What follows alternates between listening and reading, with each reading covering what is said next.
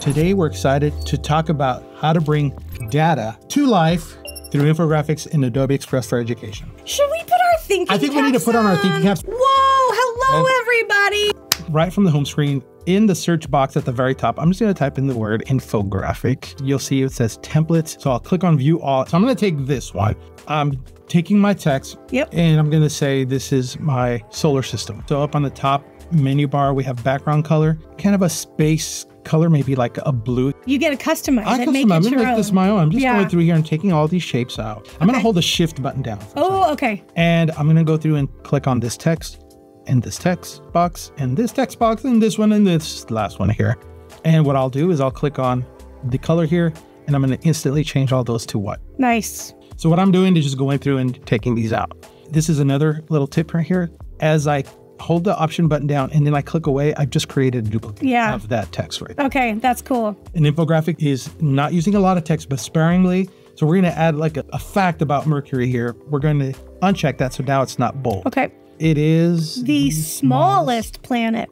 We're going to go down to elements. Just going to type in here Mercury. Icons allows me a little more creative control in how I can customize it. So I'm going to click on view all. I'm going to go with this one right here. So there's tiny Mercury. Give that kind of like a kind of a tan. I'm going to stretch this out and check this out. It's off screen. What I'll do is just drag it in. Not for long. I'm just going to resize it. Yep. There we go. Second. Second planet, Venus. Venus. If you can see as I'm building this infographic one by one for our time, what we're going to do is I'll do a little fast forward. And here was my completed one right there. Oh, look at at that. We're going to shift over some to different types of data. Yeah. Scroll through this section here. There it is Ruby's day in data. So we're going to take this one and what we're going to do is going to recreate this. Let's imagine how a classroom of students spends their 24 hours in a day. Room four's day in data. I, I just have a hard time saying that. Okay, here we go. Look at that on the left hand side. I love it. which is basically a graph is a table that's already in Adobe Express. So this is a donut chart. So for music, in a class of 30 students, 73 hours of music, 198 hours. 198, and in meals, how much time did they spend eating? Okay, what 41? Forty-one.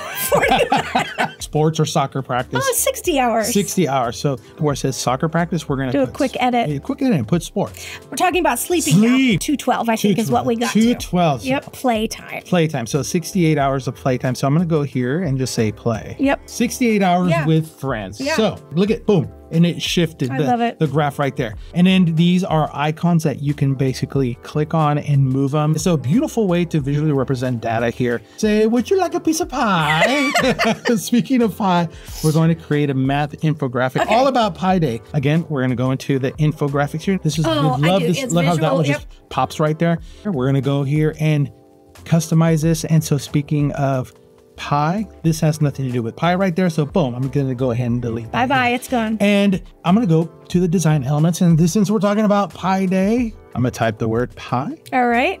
Look at this icons Hey. right here at the bottom. All the pi. This one is very, it's nice. and- Yeah, nice and bold. Nice and bold right there. Go ahead and delete that. And I'm going to type in that it is an irrational number.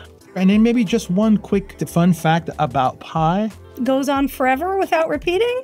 Here we go. Continuing on. Actually, then can see quickly what you would need to edit in terms of changing Yes. colors or elements to visually represent in a much more accessible way. And that's kind of So, how I got to where I am right I here. so, that. How do we get them in the view of other folks? Yeah, okay, great question. So, up here on the top right, we have our little arrow pointing down. That is our download button. So, we have different formats that you can download PDF. If Yeah. You're to print something. Yep. Download it as a PDF. And again, as you were saying, that you want to decorate your bulletin board, sing your class. These are all the different Yeah. projects that your students have created and like really amplify their work, really share it and just show it out. And then you could even click on share yeah.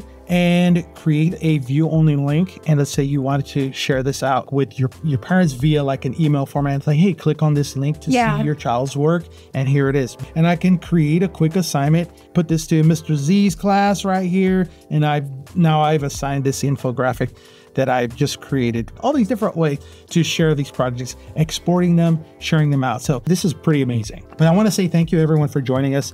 We highly encourage you to explore Adobe Express for Education and start using all these features to create your own infographics.